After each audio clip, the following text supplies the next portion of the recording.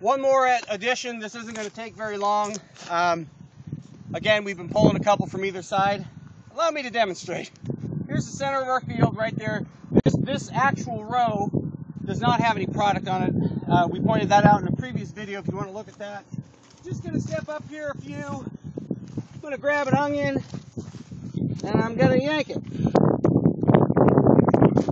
Here it is. Now these are still about a month out.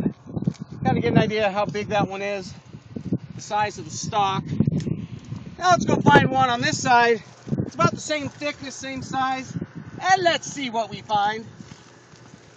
All right. Uh,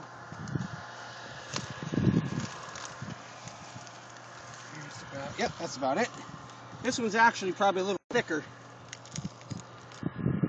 than the one that we pulled. All right. Here we have a thicker, thicker plant, bigger plant. Can you tell me what you see in these pictures?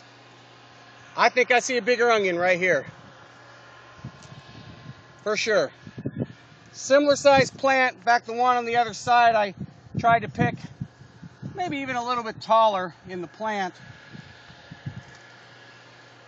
We're liking what we're seeing here, just like we have every place else. Keep checking back for more. This is Don with Terra Fresh and an onion field in Coalinga.